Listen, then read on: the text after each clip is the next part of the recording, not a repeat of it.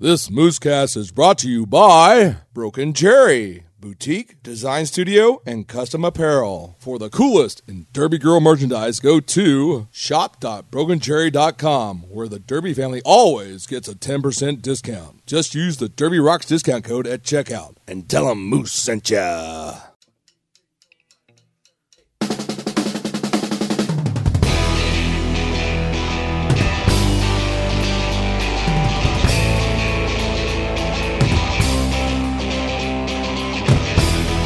Hey, this is Moose coming to you from the Verizon Wireless Theater in Houston, Texas, the site of Battle Royale, the WFTDA Western Regionals. Joining me from the Texas Roller Girls, Kool Aid. Kool Aid, your thoughts on this tournament? Wow, wow, wow. If there is anything better on this planet than spending three days of roller derby, roller derby, roller derby, I don't know what it is, and I really don't want to find out. Yeah, I, you know, after RollerCon and now this, I'll be in uh, Madison next week and Portland as well. So, absolutely, I will be there as well. My, as well myself. Sorry, a couple beers already. It's uh, yeah, it's time for a couple of beers. That's okay. It's four o'clock somewhere. Absolutely. I tell you what, though, we're seeing some uh, strong play from the uh, the Rose City Rollers here. A lot of folks uh, thought this number five seed might be able to make some hay. 89-39 now. Second half just now starting. We're uh, going to see some good play out of these girls, I think. Well, Kool Aid, good to see you, and let's take you to some interviews from uh, some of the previous bouts. Jersey Trouble is the only one. Texas, Texas. Kill, kill, kill. Uh, Texas, Texas, kill, kill, kill. All right. Hey folks, how you doing? I'm Meat Pie from the Dallas Derby Devils. I'm standing here with Cheatin' Chong and Lickity Splittail, two great players from the Dallas Derby Devils. Just went up against the Tucson Saddle Tramps. Unfortunately, couldn't pull it out. Score 112 to 52. Tucson with an amazing effort out there tonight. Chong, what did you think about the game tonight? Oh man, they just got inside us and just kept breaking us up. We kept trying to put up some defense and they just kept getting in there and splitting it up. So we came back a little bit in the second half, tried to narrow it down, you know, set up our own defense, and I think we were effective. I agree. I agree. Y'all had y'all had some good jams in the end there. Ali Gorey coming in on the jam in the second half. Fantastic. Definitely uh, a good a good play there. Wish you would have seen her out in the first half. Maybe would have had a few more points on the board. Lickity, what do you think about the game today? Oh, it's pretty rough out there. Um, those girls are so good, and they've been at it for a long time, and they're such great girls, and they, they know what to do and when to do it, and, and it's hard to adjust your game when they're all over you. So, you know, a heads up to them. They're they're fantastic. So we we did the best we could. If nothing else, I think we learned a lot from playing them. Then we're going to take that to our next game so that we can defeat the next team we're up against. Right on. Nothing sounds like nothing but Derby love here from the Dallas Derby Devils for the Tucson Saddle Tramps. So that's me. That's Meat Pie signing off. Back to you, Moose. In the history of our little world, there aren't many teams. Very, I you can count them on one hand that are uh, more storied and historic than the Tucson Roller Derby uh, travel team, the Saddle Tramps. They uh, hosted the very first uh, WUFTA National, excuse me, WFTDA national champion, yeah, national championship.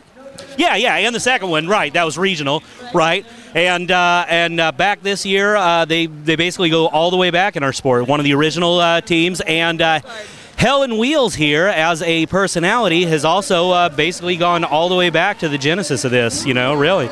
You know, as uh, both as uh, Sheriff Shichpayo and as AZRD and then moved to Tucson just recently. So we've had some exciting times. Yep, and uh, you personally have uh, also played against Dallas, uh, what, three times in tournament play at least. Yes, I, I personally have with AZRD twice and now with Tucson Roller Derby. Right, and this game uh, that just ended, uh, how do you how do you feel about it? Tell us about it. What happened? Um, you know, we've really been working hard at, at you know keeping a, our, our pack tight. We've been trying to work on our teamwork and just staying really focused so that you know if a jam doesn't go quite right, that you know we don't internalize that and we just let that go and take every jam as a new two-minute game.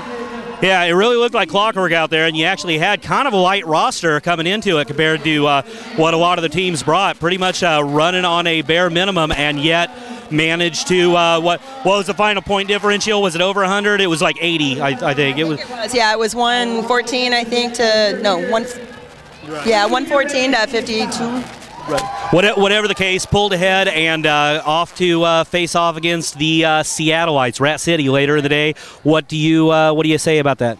Well, Rat City, they you know are pretty fierce competition. I actually have been on a team that skated against them as well, so I do know um, they they bring it, and we're gonna go out there and, and do the best we can to skate you know, skate fast, turn left, knock girls down. Well, good luck to you. Tucson, uh, the Tucson Saddle Tramps, they uh, always been a force and uh, looking to uh, be on the rise once again. We're trying hard. Thanks so much. Good luck to you.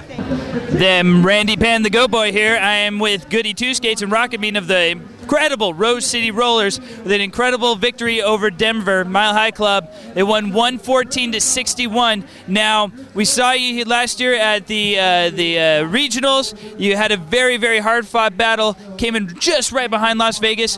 What was your strategy in coming back this year? What did you want to, to gain and accomplish when you came back? Take a goodie. Uh, thanks, Mean.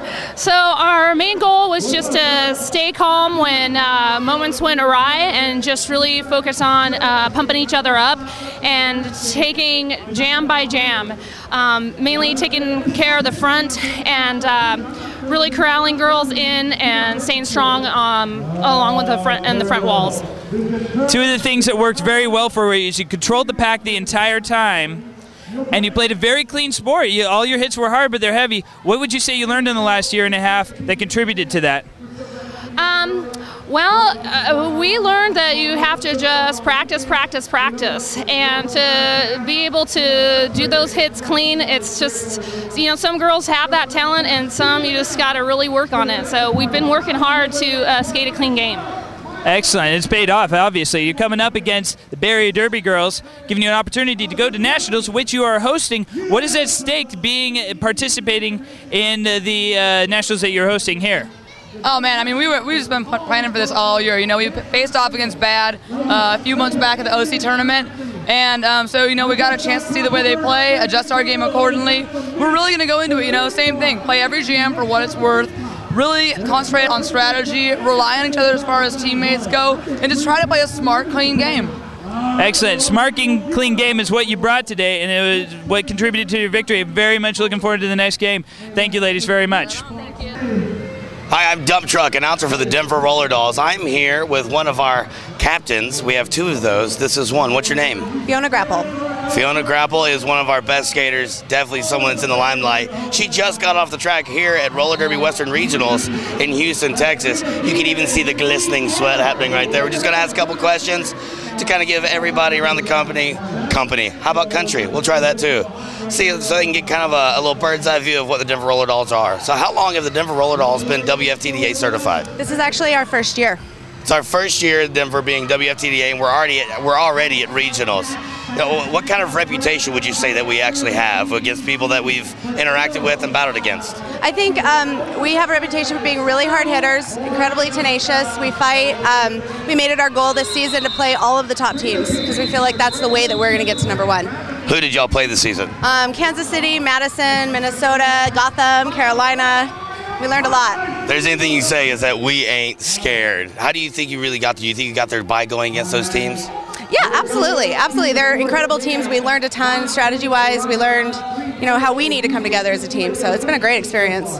Denver Roller Dolls have had a very great experience, very great season. They win a lot of things. Not only my heart, we also win the after party every time. My name is Dump Truck with Fiona Grapple from the Denver Roller Dolls. Work it out.